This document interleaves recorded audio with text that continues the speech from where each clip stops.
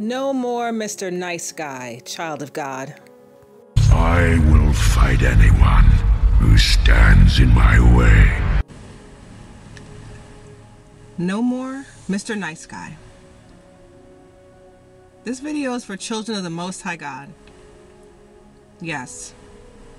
This is intended for ladies and gentlemen.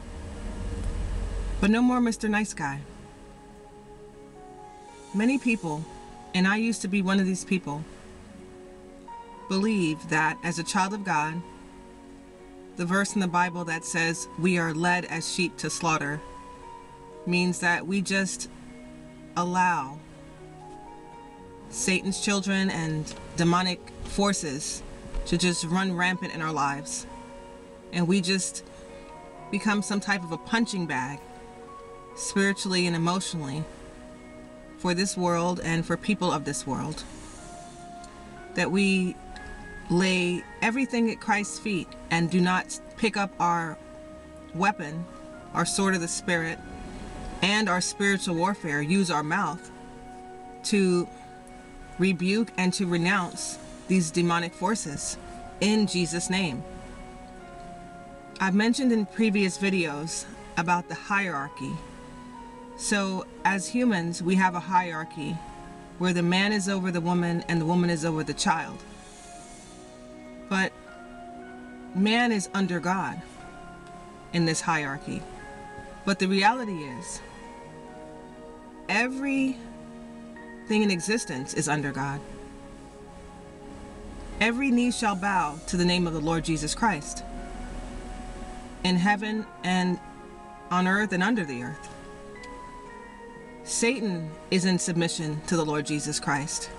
Demons, entities from hell, angels in heaven are all under submission to our Lord Jesus Christ. We, child of God, are children of God. So, in Jesus' name, we have power over everything in existence. Okay? When we have spiritual warfare attacks that come against us, maybe the first time it happens, the second time it happens, the third time it happens, it may take a while before you really come into the warrior that you're meant to be. Because unfortunately, a lot of churches and a lot of people don't speak about this. Yes, I, I know there's a lot of um, deliverance ministries out here. I'm not talking about deliverance from demon possession. I'm not just talking about that. I'm talking about when we're under spiritual warfare attack, whether it's from a person that the Lord has revealed to us where it's coming from, or we just feel that we're being bombarded from many different directions, which is one of the tactics that Satan uses. He doesn't just have one situation attack a child of God. Just like in the book of Job, it's one thing after another thing after another thing, major setbacks, major things happen, multiple things can happen. Several people can seem to turn against a child of God all around the same time. This is how Satan works. But as a child of God, this video I want to talk to you about is not getting caught up and not getting it twisted that because you are humble, because you have given the Lord control over your life, which means you have control over your temper, you don't curse with your mouth, um, meaning profanity, or curse people with your mouth. You give unforgiveness to God so you don't walk around with bitterness and hatred and ready to fight physically at the drop of a dime. These are attributes of a child of the Most High God. But some people take that too far, where it's like we're not even supposed to stand up for ourselves when we're under attack spiritually or when we're under verbal attack. I think it's very important for us to be able to stand up for ourselves when we need to. If someone accuses you of something or someone is treating you poorly, emotionally abusive, or physically abusive, will you fight back? Will you stand up for yourself, child of God? You're a child of the Most High God. You have dignity. You stand with your head held high. You walk like a champion because you are one. You are filled with the Holy Spirit. You deserve respect. You have dignity for yourself. And you deserve to be treated with respect because you respect others. Don't get it twisted, child of God. It may take time, depending on where you are in your walk with Christ, or also your culture, how you were raised, different things that in your maybe your household or in your culture, what's normal, a normal response to an aggressive person. Maybe your culture, your family dynamics, it was to be aggressive right back and to scream right back. So maybe with the help of the Lord Jesus Christ, He will change your nature. But that doesn't mean that you're here to be abused.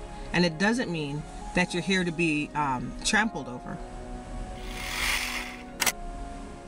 If this message resonates with you, if you have found yourself allowing people to mistreat you and abuse you, all in the name of you're a Christian and you're not supposed to say anything, you're not supposed to speak up for yourself. You may even label yourself shy or timid. And many times, because we do know that God will fight our battles, we let everything go. But many times, and I'm gonna I'm gonna tell you this, and I want you to understand that I mean this as a child of God, not to come at people the way that they come at us, not with profanity and cursing and ready to just jump on somebody that hasn't attacked you or hasn't given you reason to feel that you are under threat. I'm talking about understanding that in the hierarchy of all creation, you're a child of God.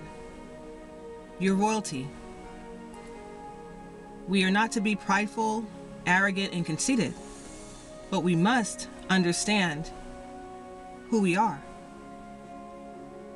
If Satan has his if Satan had his way, Satan's children and those who are under the influence of this world would literally treat children of God as carpet, as ground or something to stomp on, as garbage pails.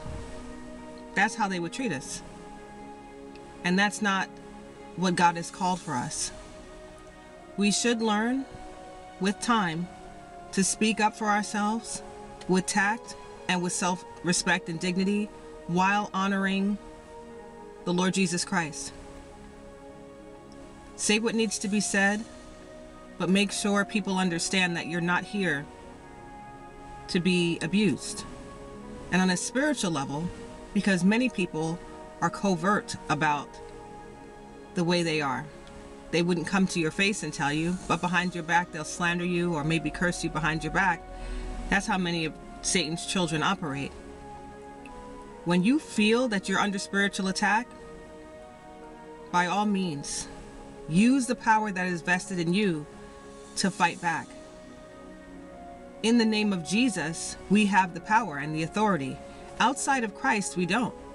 Because in this hierarchy of things, humans are underneath Satan. Humans are underneath demonic activity. A Christian, a person who calls himself a Christian, who is not lined up under Jesus, is weaker than a witch or warlock that is using demons. The only power that we have as a child of God is in the Lord Jesus Christ.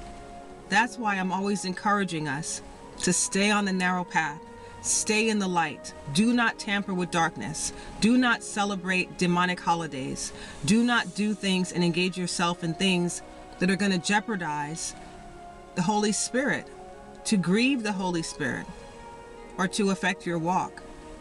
There is power in the name of Jesus, but we we must be under the authority of Jesus. And when we say that he is our Lord and Savior, those aren't just words. He's our Savior, yes, but he is our Lord. we bow our knee to the Lord Jesus. He has dominion over our life. But once we are under the authority of Jesus Christ, there is power. And we use his name never in vain. We use his name to effect change in the spiritual realm. But, child of God, you are not here to be abused and trampled on from children of Satan.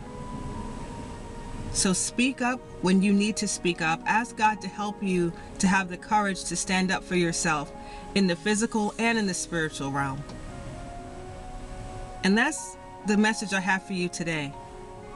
Technically, we are all spiritual warriors. This is a spiritual war that we're in. And God has equipped us to be the warriors that we are meant to be. But do not lay your, your arms down at in the front lines and just allow Satan to destroy you. So stay strong, child of God, and keep on the full armor of God. You are strong and mighty in Jesus' name. Thank you for watching. God bless you.